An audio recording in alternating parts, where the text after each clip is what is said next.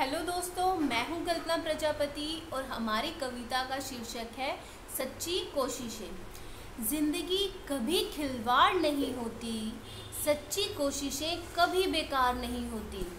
बस दिल में जुनून, चाह और एकाग्रता होनी चाहिए मंजिल को पाने की, क्योंकि बिना तपिश के सूरज की किरणें भी कभी वफादार नहीं होती। धन्यवाद।